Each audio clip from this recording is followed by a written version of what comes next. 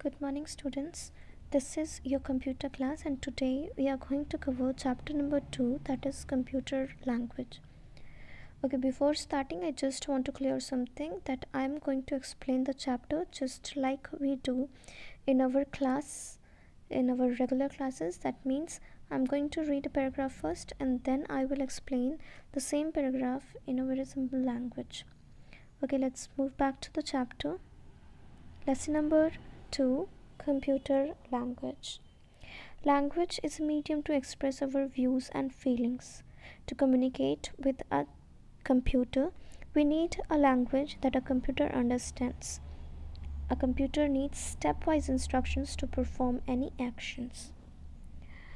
As we all know that language is a medium to express our feelings or emotions very efficiently to one another just like we do in our general lives.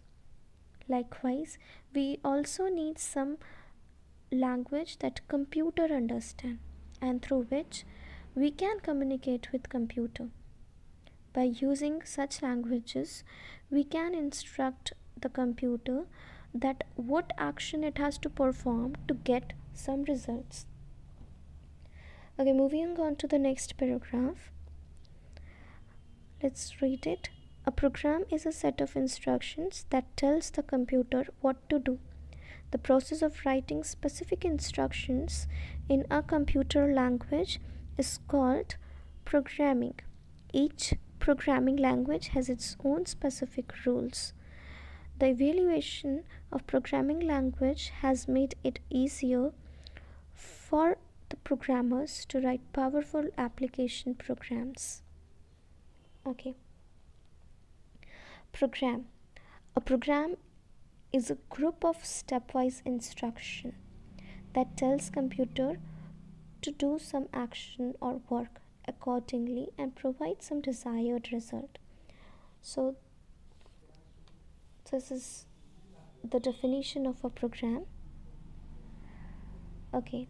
And writing a program writing a program in some computer language or programming language is called programming. And the person who writes the program using computer programming language is known as programmer. Like any other languages for example like hindi we have hindi grammar. For english we have english grammar and so on. Computer language do also follow some rules of its own each programming language or computer language has their own specific rules. In class 5th, we all have studied about evaluation of computer. Parallel to the development of the computer programming language also developed a lot.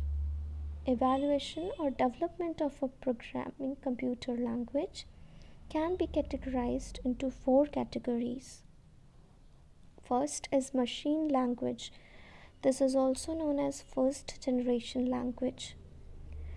Second, assembly language. Assembly language is also known as second generation language. Third is high level language. This is also known as third generation language. And fourth generation language is termed as its name fourth generation language. The first generation and the second generation language also termed as low level language because these two languages are much machine friendly rather than user friendly.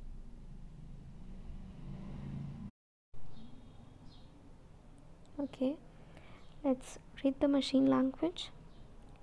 Machine language is the only language that a computer understands it is expressed in binary form that is zeros and ones where 0 means off state and 1 means on state.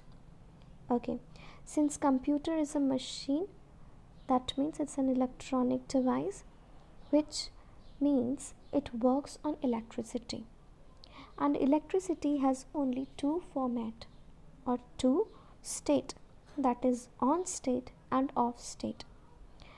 And this language the machine language is the only language that is expressed in binary format by using these two state of currents. That means on state and off state. Here on state of current is recognized or referred as 1 and off state is referred as 0 so this becomes the first and the only language among all the generations language that computer understands directly. It does not need any kind of translator programs to translate the machine language so that computer understands it. Okay let's read the next paragraph. Machine language has the advantage of very high speed and very low memory utilization. These two are the basic and very important advantage of machine language. Let's see the first one very high speed.